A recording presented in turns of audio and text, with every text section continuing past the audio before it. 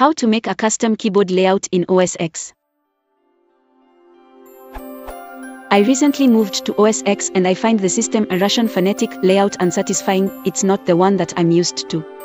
How can I create a custom layout?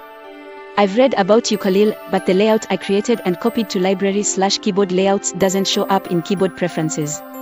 I'm using OS X 10.9 Mavericks. I searched for solutions in internet, but most of them were outdated.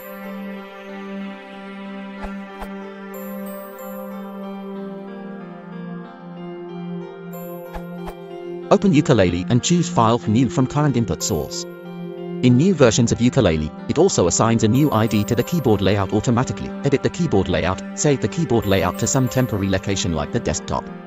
Saving directly to Library Keyboard Layouts fails silently. You can use either of the two formats.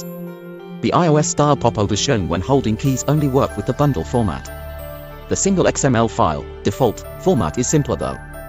When using XML, make sure that the file is saved with a .keylayout extension. Move the keyboard layout to Library Keyboard Layouts. Keyboard layouts in tilde library keyboard layouts can't be selected in password dialogs or on the login window. Restart the computer. Logging out and back in is not enough. Enable the new keyboard layout from System Preferences. To apply changes to a keyboard layout, run sudo touched library keyboard backslash layouts and restart. See this URL for more information. Update October 2015. There is a new version of Ukulele 3.0.0 that includes the option to install the layout from within the app. I still needed to go to System Preferences to activate it, but did not need to go through the command line at all.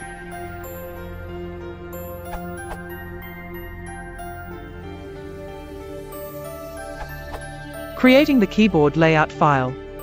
I too used Ukulele to generate a keyboard layout. You can then export the dot bundle or dot key layout file and copy it to a library of keyboard layouts. If you want to have the icon for the keyboard bundled in one file Ukulele offers an export to bundle option. So in this case copy the dot bundle file instead. Alternatively, you can keep the icons separate and copy them with the same name to the same folder.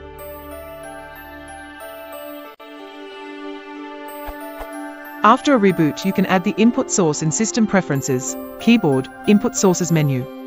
Probably available under Others, or the language if you attached a language to the keyboard in Ukulele. How to create an .icns file. Then add the following PNGs to the folder.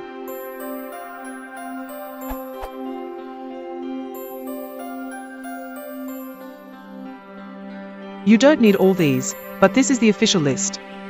Some are redundant in pixel count, but indicate density.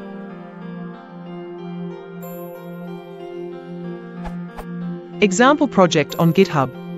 My Ukrainian Russian project on GitHub is a demo that is currently working on Mavericks 10.9.5.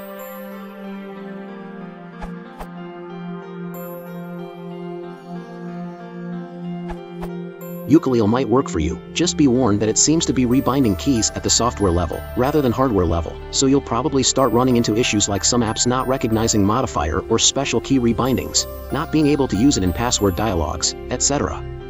If you're looking for a more robust solution, check out Karabiner.